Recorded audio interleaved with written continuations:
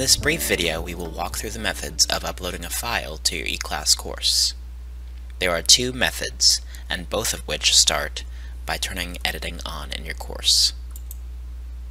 For the first method of uploading a file, all you need to do is drag and drop from your file folder on your computer into eClass itself, like so. Afterwards, the file is available to download.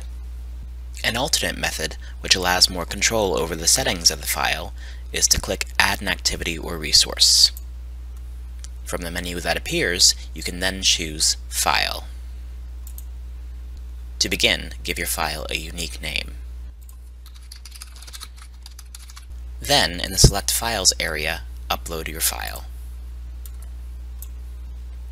Afterwards, in the Appearance section, you can choose different display options for your file, including how it appears on your computer, whether to show the size and type of the file, as well as when it was last uploaded or modified.